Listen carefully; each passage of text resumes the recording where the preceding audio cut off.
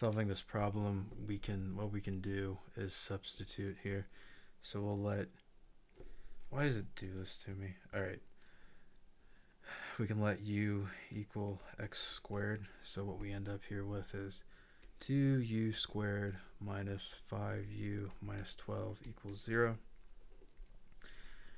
And then this gets broken down into 2u plus 3, and then u minus 4. And then, so what we get for these is um, u is equal to negative 3 halves, and then u is equal to 4 over here. And then what we do is we do x squared is equal to negative 3 halves. So this doesn't work unless you want imaginaries, but then x squared is equal to 4, and we get x is equal to plus or minus 2. So this works.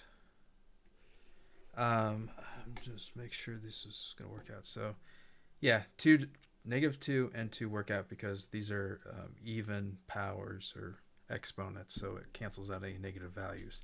So the solution to this problem is um, x is equal to negative 2 and 2. And that's it.